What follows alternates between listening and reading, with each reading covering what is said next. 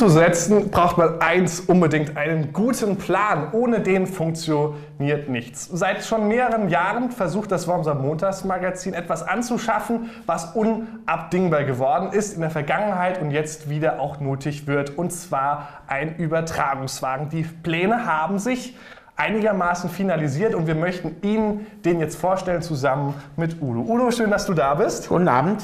Ähm, der Ü-Wagen, warum ist der denn so wichtig für das Wormser Montagsmagazin? Wir äh, möchten live von vor Ort berichten. Das versuchen wir bei bestimmten Veranstaltungen und äh, wichtig ist es halt, dass wir das relativ schnell und äh, auch äh, mit geringem Aufwand machen können. Und dazu ist eben ein Übertragungswagen wichtig, weil da eben die Technik untergebracht wird. Und ähm, wir müssen eben vor Ort äh, weniger äh, Aufbauaufwand haben und so weiter. Wir haben diesen Ü-Wagen hier einmal äh, planar auf den Studioboden drauf gemacht. Wir sind jetzt hinten an der, an der Tür und äh, wir wollen da jetzt einmal reingehen. Udo, lass uns einmal reingehen, hinten Pass durch die. Tür. Ja, Der ist nur zwei Meter hoch. Okay, Ne? gehe ich ein bisschen runter. Wie groß wird denn der Wagen denn von der Maße her soll er denn sein? Also wir haben das uns überlegt und wir kommen ungefähr mit den Maßen 4 Meter mal grob 2 Meter aus, in Breite 2 Meter, Länge 4 Meter Und Höhe 2 und Meter? Höhe äh, vielleicht so 2 Meter, 1,80 Meter, müssen wir schauen. Ja. Dann lass uns doch einmal durchgehen, was denn wo alles stehen soll und warum man das alles braucht. Wir beginnen mal hier vorne. Also hier, das Weiße sind dementsprechend die Wände. Udo, ich nehme einmal hier Platz. Du kannst es mir dann erklären. Was wird denn dann hier vorne sein? Ich nehme mal an, die Bildregie. Äh, hier wird die Bildregie äh, sein. Ja, symbolisch steht da jetzt mal so ein Tisch.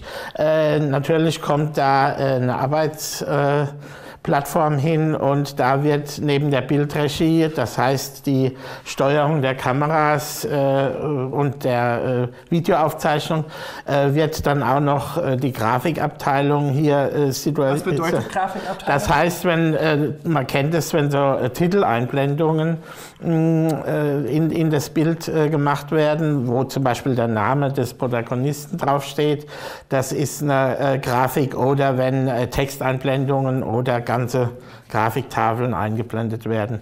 Das wird alles hier äh, stattfinden, ja.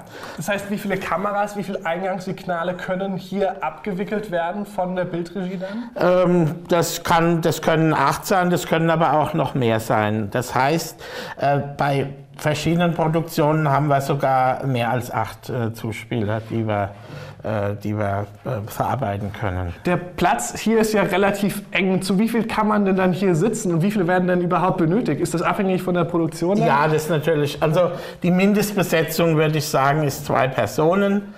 Einer fürs Bild und einer für den Ton, da kommen wir gleich zu. Aber ähm, in der Regel werden wir mit drei Personen hier in dem Ü-Wagen dann arbeiten, weil es ist sehr sinnvoll, wenn jemand sich um äh, den Ablauf kümmert und äh, der dann auch noch die, zum Beispiel die Titeleinblendung vorlegt. Also halten wir noch mal fest, hier an der Wand wird dann hier das, äh, der Bildmischer stehen, dementsprechend auch die Bildschirme, dass man sehen kann, welche Kameras, also einmal so ein Mixbild wahrscheinlich, wo die ganzen Eingänge von den Kameras zu sehen ist und dementsprechend auch das Ausspielsignal und oben links und oben rechts Lautsprecher und damit gehen wir zum nächsten Punkt, denn diese Lautsprecher sind für die Station hier hinten dran für den Ton. Ja, der Ton ist natürlich ein wesentlicher Bestandteil und der hat äh, von der Bedienung zunächst mal überhaupt nichts mit äh, dem Bild zu tun. Das sind zwei getrennte Vorgänge und die beiden äh, Personen, die die äh, Bedienung äh, dann durchführen, die müssen natürlich sehr engen Kontakt haben und die müssen auch sich sehr genau absprechen, denn Ton und Bild gehören ja fest zusammen. Und ähm, ja, für den Ton haben wir dann eben sozusagen in der zweiten Ebene, äh, der demjenigen, der Bild macht, über die Schulter schaut. Warum ist das so wichtig, dass er noch oben drüber guckt?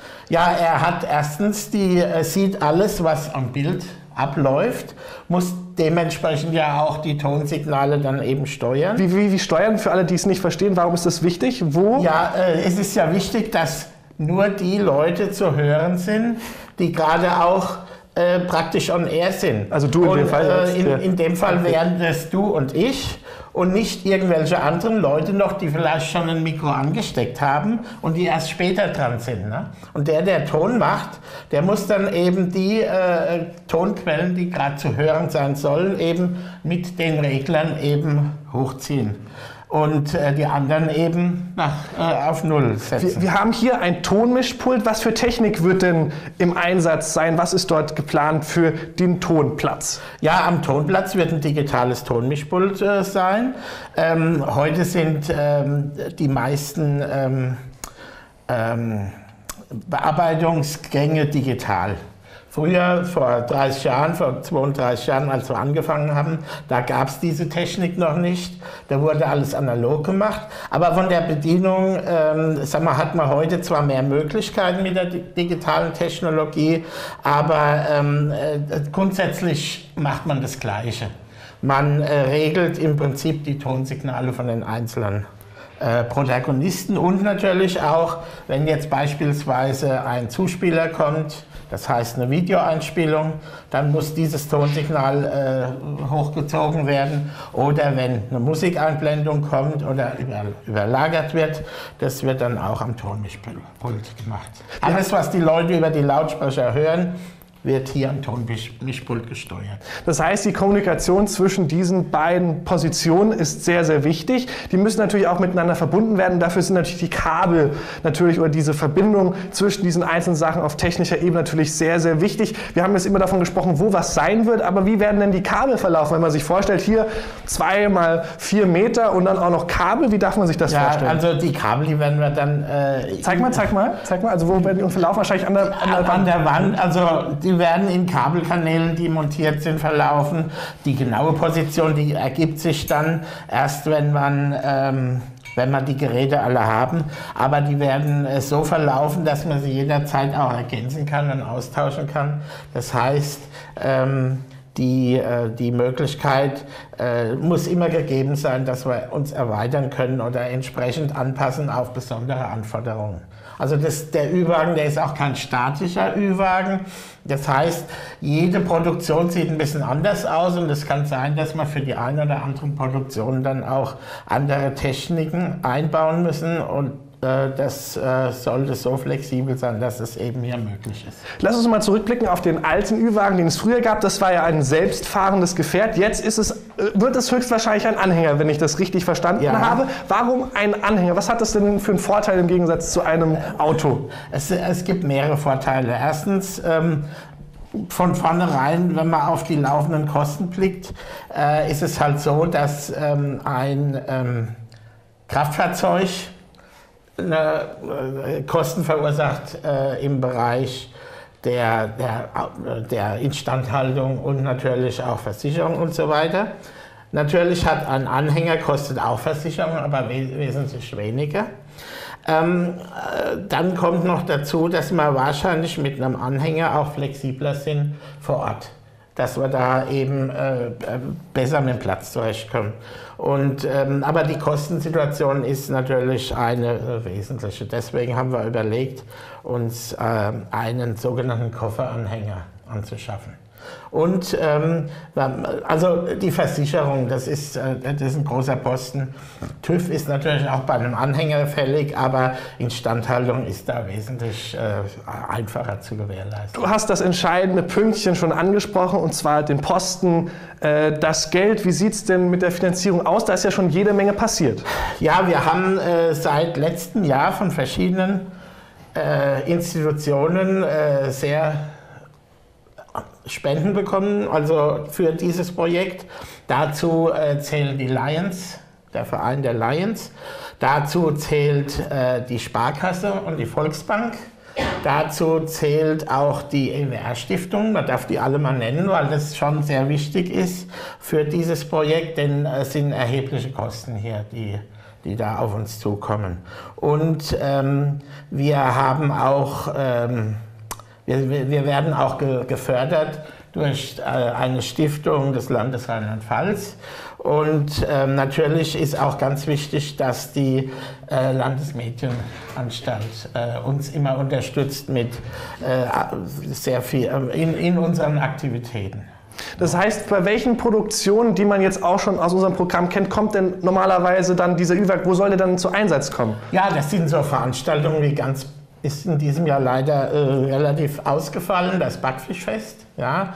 Der Umzug vom Backfischfest, die Eröffnung vom Backfischfest, aber auch andere Veranstaltungen, beispielsweise Jazzfestival und äh, aber auch äh, durchaus äh, politische oder kulturelle Veranstaltungen, die äh, über das ganze Jahr hinweg in Worms stattfinden, die eben nicht hier im Studio stattfinden, sondern vor Ort. Und wir haben hiermit die Möglichkeit, relativ schnell und flexibel zu reagieren und vor Ort zu fahren und die Technik dann äh, praktisch vor Ort zu haben. Das, was normalerweise im Studio äh, sich befindet und können dann Fernsehsendungen übertragen. Der Unterschied dazu, äh, was man ja auch jetzt sagen können, ja, das macht er doch schon 30 Jahre, ihr geht mit der Kamera irgendwo hin. Ja, da geht man mit einer Kamera vor Ort, ähm, aber da kann man keine Sendung produzieren und Live-Sendung ist dann noch schwieriger. Ähm, mit so einem Übertragungswagen kann man eben komplette Sendungen äh, produzieren. Wir denken zurück, vor äh, zwei Jahren war der Rheinland-Pfalz-Tag in Worms. Da haben wir eben vor Ort ein Studio aufgebaut. War sehr, sehr viel Aufwand, bis das stand. Und mit so einem Übertragungswagen, wir äh, können hinfahren und haben es relativ schnell dann äh, fertig und können losproduzieren. Also hinfahren, auspacken und äh Plug and Play, das wäre idealerweise okay, aber trotzdem ist schon noch viel Arbeit äh, notwendig für so eine Produktion im Vorfeld. Aber ähm, es ist natürlich, es, so ein Ü-Wagen gibt uns viel mehr Möglichkeiten. Dann lass uns doch gerade noch mal einen hinten rausgehen aus dem Ü-Wagen. Da gibt es nämlich noch einen spannenden Punkt, nämlich hier links die grünen Kabeltrommel. Das sind nämlich die Kamerakabel, mit denen die Kameras dann angeschlossen werden. Wie kommen denn die Kabel aus dem Wagen raus? Äh, ja, äh, zunächst äh, ist die Frage, wie sie reinkommen. Also diese Kabeltrommeln, die sind erstmal mobil. Die, äh, die äh, haben dann einen bestimmten Platz in dem Ü-Wagen, da werden sie fixiert, äh, weil es ja wichtig, dass sie bei der Fahrt dann, die sind recht schwer, 25 Kilo das Stück, ähm, dass die dann nicht umfallen und vielleicht auch noch andere Geräte beschädigen. Und ähm, ja, wenn dann, wenn wir vor Ort angekommen sind, dann werden die Kabel eben ausgerollt. Äh, und das sind von der Grundausstattung her vorgesehen vier Kabel. Ja, also dann für diese. Fest. Also dann so. für die vier. Äh so, und da sind 100 Meter Kabel drauf auf den Kabeltrommeln. Und die äh, reichen dann bis zu den Kameras. Und an den Kameras, da äh, werden die angeschlossen und über diese Kabel, das sind nicht nur einfache äh, Videokabel, wie man es vielleicht von zu Hause kennt, zwischen einem DVD- oder Blu-ray-Player und einem Fernseher. HDMI, An HDMI wäre das, ja, da würde das Video- und Audiosignal drüber, sondern hier läuft auch noch die Stromversorgung für die Kameras. Hier läuft das Intercom. Intercom für alle, die es nicht Intercom wissen. Intercom bedeutet, das ist die Kopfhörer-Mikrofonverbindung zwischen der Regie.